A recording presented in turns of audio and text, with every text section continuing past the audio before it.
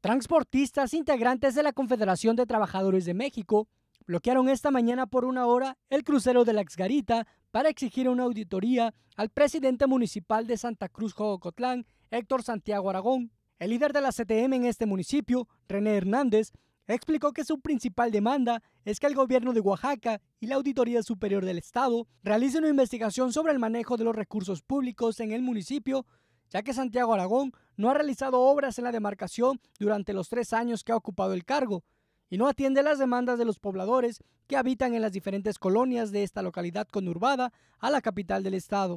La demanda la hemos hecho ya desde hace más de un año de que la Autoridad Superior, del Estado tome cartas en el asunto sobre el tema, de, el tema Jojo. Creo que hemos estado esperando que el señor Héctor Santiago Aragón eh, baje obra, apoya a las colonias, apoya a todos los compañeros este, eh, de aquí de, de Jocotlán, pero vemos que día con día no se presenta este señor, no da la cara, eh, y, la única obra que, que, anda floreciendo pues son sus plantitas que puso aquí en medio del camellón.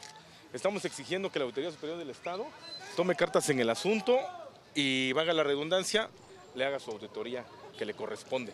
Así es, vean la foto, ahí tenemos la foto de cómo lo queremos al, lobo. El líder de la CTM agregó que el tema del transporte, el presidente municipal ha aumentado el costo de las infracciones y ha implementado operativos que supuestamente no le corresponden realizar. Cerca de 180 millones de pesos anuales. Anuales. Anuales. Entonces, como ves, no, no, no ha bajado obra. En el tema del, en el tema del transporte, vemos que las infracciones crecen y un, este, un transportista no puede pagar eh, las infracciones tan, tan altas. Están haciendo operativos, eh, bueno, recogen unidades, caso que no les corresponde. Con imágenes de Víctor Martínez, informó para MVM Televisión, Deimo Sánchez.